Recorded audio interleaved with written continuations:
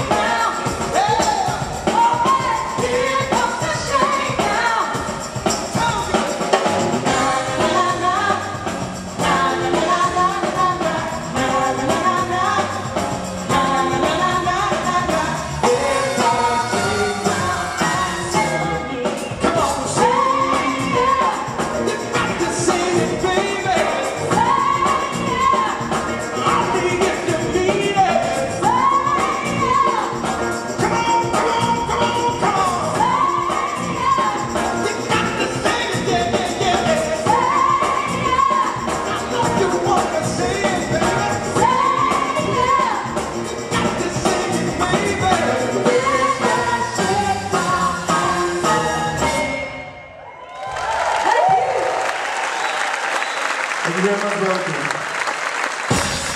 Ladies and gentlemen, put your hands together. The next one, catch up.